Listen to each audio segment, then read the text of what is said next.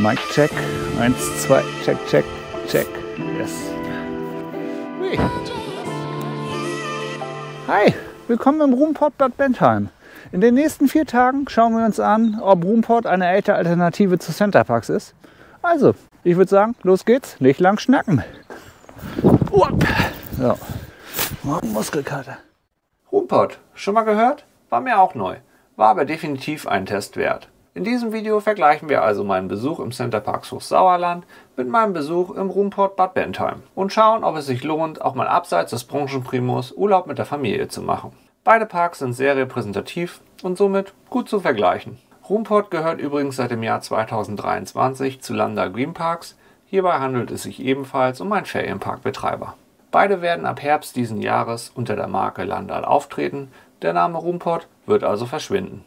Das nebenbei als Information, falls du dir das Video erst anschaust, wenn es den Namen Roomport schon nicht mehr gibt. Aber nun, lass uns starten.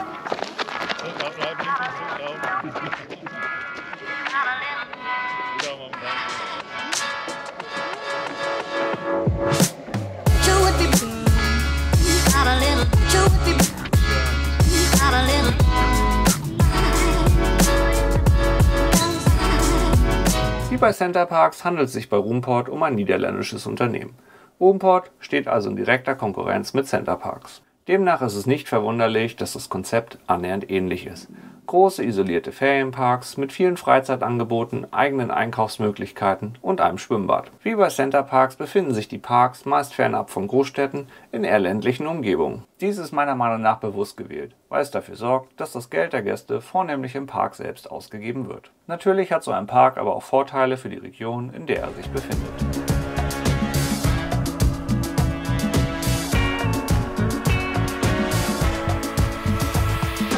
Der Ruhmport Bad Bentheim befindet sich, wie der Name schon sagt, im Kurort Bad Bentheim. Bad Bentheim ist eine Kleinstadt 80 Kilometer östlich von Osnabrück, ganz dicht an der holländischen Grenze. Der Park ist sauber und gepflegt und im Zentrum befindet sich das Hauptgebäude. Hier findest du das Restaurant, den Supermarkt und diverse Freizeitangebote. Der Park ist dauerhaft mit dem Auto befahrbar, denn das Parken ist direkt am Haus möglich. Der Check-in erfolgt online.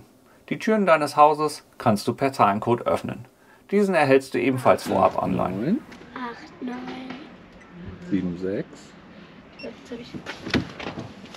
Ziemlich cool. Der Center Park Sauerland befindet sich im Herzen von Deutschland, in Medebach. Er liegt ca. 80 Kilometer östlich von Kassel. Der Park ist ebenfalls sauber und gepflegt. Auch hier stellt das Hauptgebäude, der Market Dome, das Zentrum des Parks dar. Dieser befindet sich aber deutlich näher am Eingang des Parks im Gegensatz zu Rumpott. Ebenfalls sind hier das Restaurant, der Supermarkt und diverse Freizeitangebote untergebracht. Das Freizeitangebot ist bei Center Parks bedeutend größer, vor allem für Kinder. Im Gegensatz zu Roomport ist der Park jedoch nur am An- und Abreisetag mit dem Auto befahrbar. Parken ist auf einem großen zentralen Parkplatz am Eingang möglich. Der Check-in erfolgt auf dem Parkplatz im Auto. Hier erhältst du Armbänder, um unter anderem dein Haus zu öffnen. Oh, 174 ist Ihre Hausnummer. Anschließend kannst du zum Auspacken direkt mit deinem Auto zum Haus fahren und bringst es später auf den Parkplatz zurück. Beide Parks punkten hier in unterschiedlichen Kategorien. Das Pkw-Konzept gefällt mir persönlich im Ruhrpott besser. Auch das Erscheinungsbild des Parks gefällt mir deutlich besser. Dafür punktet Center Parks mit seiner Lage und den vielen tollen Freizeitmöglichkeiten im Park und in der Umgebung. Unentschieden.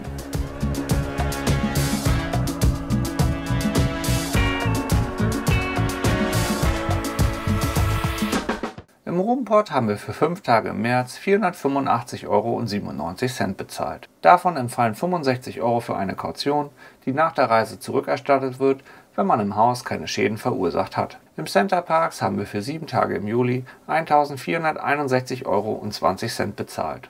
Diese Preise sind natürlich nicht vergleichbar, also müssen wir das Ganze einmal durchspielen. Testen wir das Ganze doch einmal für eine Woche im Oktober. Fangen wir mit Roomport an und wählen die Woche vom 7.10. bis 14.10.2024 für zwei Erwachsene und drei Kinder. Hier sieht man auch direkt, dass die An- und Abreisetage im Roomport immer Montag oder Freitag sind. Wir nehmen direkt das günstigste Ferienhaus, das ist auch das, welches wir hatten, und kommen auf 611 Euro.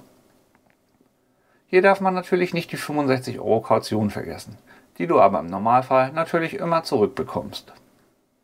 Nun gehen wir weiter zum Center Parks nehmen die gleiche Woche, stellen fest, dass auch hier die An- und Abreisetage immer Montag oder Freitag sind, nehmen die gleiche Anzahl an Personen und auch hier das günstigste Haus. Wow, 1949 Euro? Das ist aber krass für Oktober. Der Punkt für den Preis geht also eindeutig an Rumpott. Übel. Mit dieser Preisdifferenz hätte ich echt nicht gerechnet. Machen wir weiter mit dem Essen und Trinken. In beiden Parks gibt es einen Supermarkt, in dem du alles Notwendige bekommst. In beiden Parks gibt es auch ein Restaurant. Hier hebt sich Center Parks allerdings deutlich ab, denn es gibt mehrere verschiedene Restaurants. Der Rumport hat nur ein Restaurant. Letztlich muss man aber sagen, dass das Essen in beiden Parks nur durchschnittlich schmeckt und dafür auch noch ziemlich teuer ist. Aber wer es mag, der findet hier was. Wir sind in beiden Parks immer gern auf die Angebote in der Stadt ausgewichen. Im Gegensatz zu Bad Bentheim sind die Restaurants in Medebach eine absolute Empfehlung. Das Essen schmeckt überall grandios. Die Restaurants in Bad Bentheim waren aber dennoch definitiv besser als im Park selbst. Punkt für Center Parks.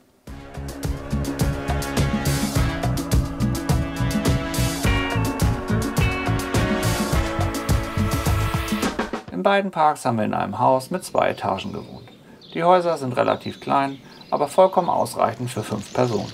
Das Rumport-Haus war deutlich sauberer und weniger abgewohnt als im Center Parks. Vor allem die Bäder waren deutlich schöner. Dafür ließ allerdings die Küchenausstattung zu wünschen übrig. Der Gasherd funktionierte nur dürftig und es gab unter anderem keinen Toaster. Oh, wir können auch oben gleich hören. Ein Bad.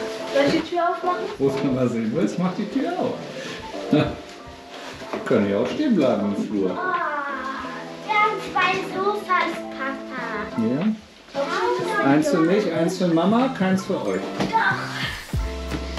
Was für mich ist dieses Sofa. Kannst du lesen? Thank you, Herr Wahrscheinlich verletzt, Ah, ne? schön, dass du hier bist. Ja. Und jetzt nach oben. Wie sieht denn das Klo aus? Oder musst du das gleich äh, benutzen? Ja, ja. Wahrscheinlich, ne? Oh, das sieht aber gut aus. Ja. Wie sieht hier oben aus? Und hier ist eures. Ich habe noch nicht mal das gesehen. Mein Bett ist da hinten.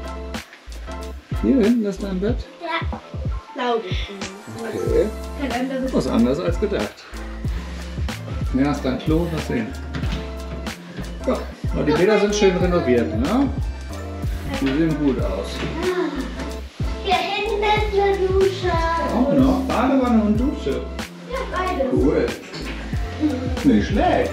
Danke. Also Das ist, ja das, das ist ja das Wichtigste, dass die Bäder schön und sauber sind, oder? Ja. Sehr gut. So, jetzt habe ich mein Zimmer noch nicht gesehen. Wo darf ich denn Hier. schlafen?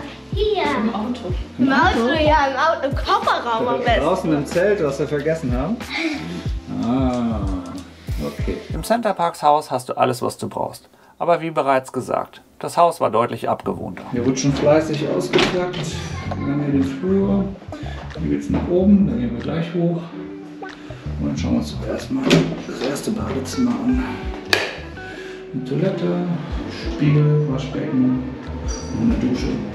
Riecht etwas streng, ist aber in Ordnung. Dann haben wir hier das Elternschlafzimmer, äh, Doppelbett und ein Schrank, um Sachen auszupacken. Dann haben wir hier einmal die Küche, vollkommen ausgestattet, vollkommen ausreichend auch. Ähm, haben wir einmal den Wohnbereich mit einem kleinen Fernseher, auch Internet ist dabei, auch kleiner Kamin. Gut, gehen wir nach oben. Hier unten war es das. Oben haben wir noch zwei Kinderzimmer und ein Badezimmer. Fangen wir mit dem Badezimmer mal an. Ja, auch hier haben wir eine Toilette, haben eine Dusche, Spiegel und Waschbecken, also alles vollkommen ausreichend. Hier lässt sich wirklich ganz gut aushalten. Gut, und dann haben wir noch zwei Kinderzimmer. Haben wir einmal hier den linken Bereich, zwei Betten mit Schrank und dann den rechten Bereich ebenfalls zwei Betten mit Schrank und natürlich in jedem Zimmer ein Fenster mit ein bisschen Aussicht auf die Nachbarn. Beide Parks bieten außerdem vernünftiges Internet. Unbegrenztes WLAN ist kostenfrei nutzbar. Trotz der Mängel in der Küche schneidet unterm Strich das Roompot Haus für mich persönlich besser ab. Punkt für Roompot.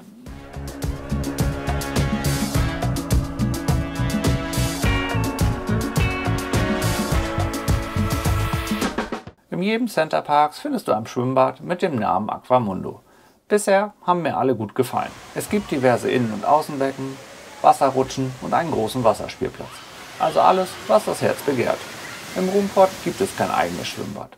Allerdings befindet sich direkt am Parkeingang der Badepark Bentheim. Als Roomport-Gast erhältst du hier eine Badeflatrate, ohne zusätzliche Kosten. Demnach ist das also kein wirklicher Unterschied zu Center Parks.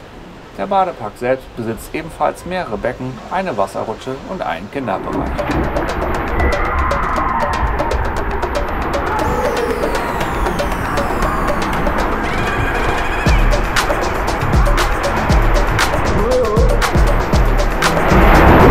Im Vergleich ist das Aquamundo eher für Kinder geeignet, während der Badepark Bentheim etwas schöner für Erwachsene ist. Dennoch kommen in beiden Schwimmbädern alle Altersklassen auf ihre Kosten. Unentschieden. Und im Gesamtergebnis ist auf Grundlage der reinen Fakten somit Rumport bzw. Landal der knappe Sieger.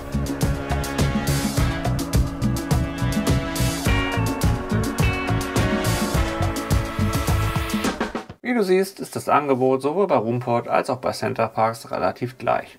Große Unterschiede sind kaum auszumachen. Sehr auffällig ist allerdings, zumindest in unserem Test, der deutlich höhere Preis bei Center Parks. Das musst du für dich allein entscheiden, ob es dir das wert ist. Vom sonstigen Angebot her ist es fast egal, für welchen Anbieter du dich entscheidest. Das Ganze ist komplett von deinen eigenen Vorlieben abhängig. Für mich persönlich entscheidend ist immer die Umgebung des Parks und die örtliche Lage. Die Angebote im Park sind wichtig, damit die Kinder beschäftigt sind und ihren Spaß haben können. Aber mal ehrlich, die sind überall super, auch wenn Center Parks da mehr zu bieten hat. Das Freizeitangebot in der näheren Umgebung hat für mich immer eine größere Bedeutung. Ich fahre nicht in den Urlaub, um den ganzen Tag im Park oder im Haus zu sitzen. Bei diesem Vergleich schneidet der Center Parks Sauerland für mich persönlich somit bedeutend besser ab. Das liegt aber nicht am Park, sondern zu 100% an meinem persönlichen Vorlieben. In jedem Fall machst du bei beiden Parks keinen Fehler. Wenn wir den Preis mal beiseite packen, kannst du dir immer einen schönen Urlaub machen. Du siehst, es muss also nicht immer Center Park sein. Es gibt durchaus attraktive Alternativen, wie zum Beispiel Rumport bzw. Landal. Für mehr Einblicke in den Center Parks Sauerland schau dir gerne das hier eingeblendete Video an. Denn hier bekommst du noch mehr Informationen zum Park und der Umgebung.